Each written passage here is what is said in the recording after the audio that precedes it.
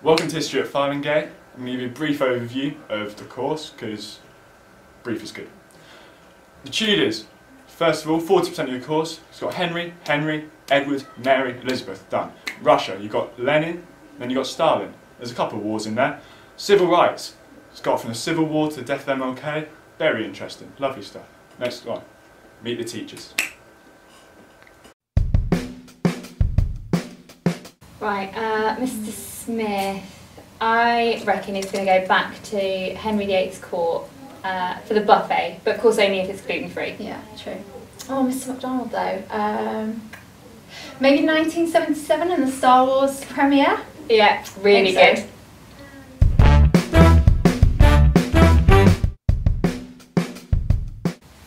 So I think Mrs. Lucas would go back to a time in history where people were a lot shorter.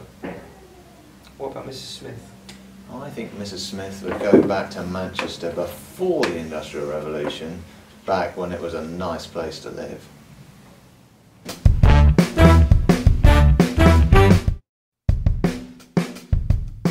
So, uh, Miss Ring, she loves fashion, she loves dance. I think she'd like to go back to the 1920s to be a, a flapper. That's flapper. Oh, that's a oh, that's a good shout. Um, Miss Snox, tough on that, isn't it? Uh, I think she's all things she's all things Tudor. So I think we're going to put Miss Snoxall back at Hampton Court, time of Henry VIII, to just experience that and uh, kind of soak it all up. She'd love that.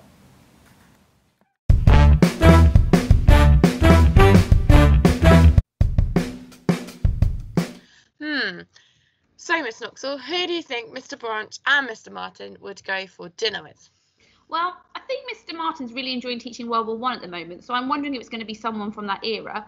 Um, and actually, Mr. Branch really enjoys his military history, so I'm thinking if it's going to perhaps be a bit of a military dinner. Um, but I know that Mr. Branch's passion, particularly um, being World War Two. Yeah, Mr. Branch really does enjoy his trips to Duxford to do some plane spotting, so I think you're probably along the right lines there. So, an RAF from the Second World War, one of the few. Yeah, I think that's a great choice. Let's go with that.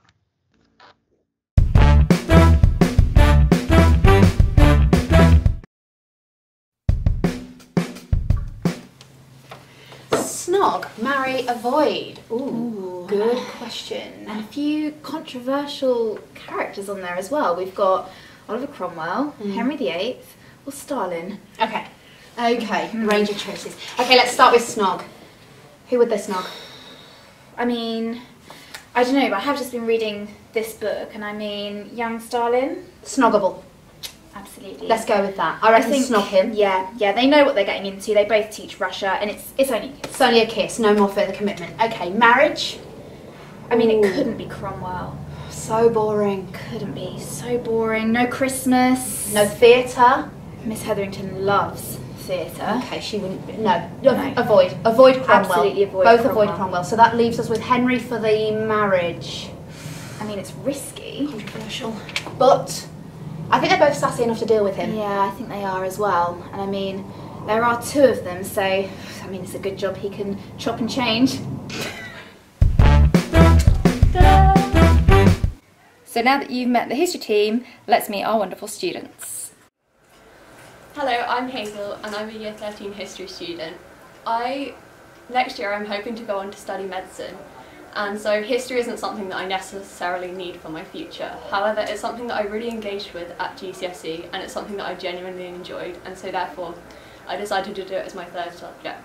I'm really glad that I did this because having to sit in science labs all day can sometimes be like a bit monotonous. So having history, which is something completely different and uses completely different skills, and the exams are completely different, is so lovely as just a break from that. Um, taking history, I feel like will be really useful for my future because it has taught me lots of analytical skills and taught me to see the world in like a different way, and it really helps seeing how people have chosen to do certain things in certain ways and the um, reasoning and rationale behind this. And this is something that going to be able to take forward and apply to the rest of my life. I'm going to study history at degree, and I'm going to go to America uh, on a sports scholarship. And I really encourage anyone who has a genuine interest in history to do it at A level. I, I just don't think you'll regret it. We really hope that you have enjoyed finding out a little more about the history team here at Farlingaye We really love our subject and hope that you will too. Just to finish, we wanted to show you a few pictures from the amazing extra opportunities we have here in the history department. We've run very successful trips to New York and Washington, Italy, and also a personal highlight for me was a 10-day tour of Europe to visit key sites linked to the Third Reich and Nazi Germany. These are really fantastic opportunities that we hope to be able to offer Farlingaye history students in the future.